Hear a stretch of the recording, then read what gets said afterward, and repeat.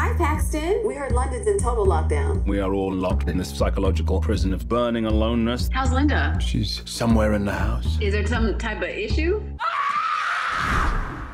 We are fine. Not only is everything not okay, nothing is okay. Linda said she was planning to end our thing.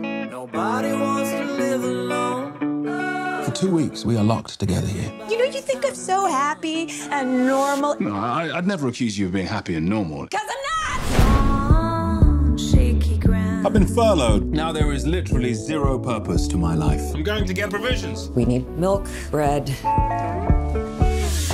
Boy, how many asses have you got? Piss off. The nice people that I fired, they were fired because of me. It's not about the virus, it's about who I am and what I do for a living. You fired them well. Thank you. Is that a glass of wine? Yes, yeah, it is. We have a situation, Paxton. All the major department stores are closing.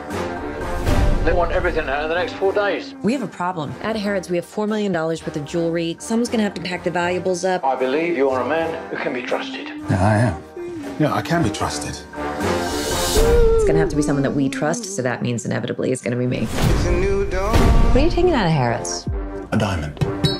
It's a new day. Since lockdown, I'm looking back at myself like that was then, and this is now. Yeah. The bastards who told me to fire those people, they're bad. You and I are good, and good is better than bad. You're talking about stealing a diamond. Three million pounds. Live wild or die, Linda. And I'm feeling good. Harrods is the most glamorous store in the world. I know all the security guards. I know the security systems. I just need to get the gentleman's name. His name? Edgar Allan Poe. Edgar Allan Poe! Wow. What can go wrong? Lockdown one last ride. O Lord who art in heaven. Oh my god, oh my god. Forgive us the sin of deception. Aging Edgar Allan Poe. Mr. Edgar Allan Poe, please report to security. It's a new dawn, it's a new day. Who'd have thought a month ago we'd be doing this?